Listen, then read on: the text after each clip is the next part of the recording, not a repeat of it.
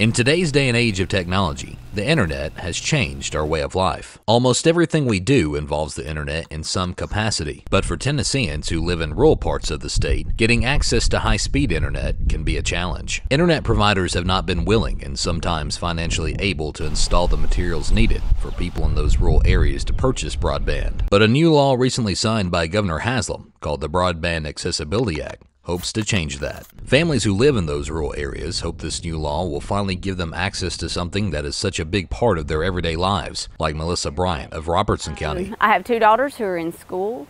I have a husband who has a home office, and I have a home office. And so we are maybe not even the typical family, but we are textbook need high-speed internet and have no access to it. One of the big things the Broadband Accessibility Act does is it deregulates the way internet is provided to customers. That way, people in the rural parts of the state can be provided internet through their local electric cooperatives, like Middle Tennessee Electric.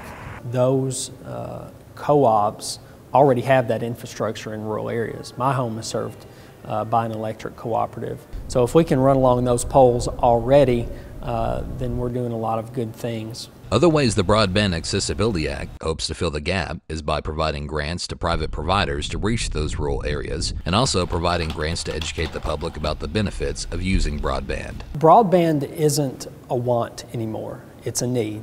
Uh, for people, and especially millennials, uh, it is an absolute necessity, and we need to start looking at it as a necessity. Only time will tell whether or not this act will connect Tennesseans to that necessity. Reporting in the Midstate, Thomas Capps, MT10 News.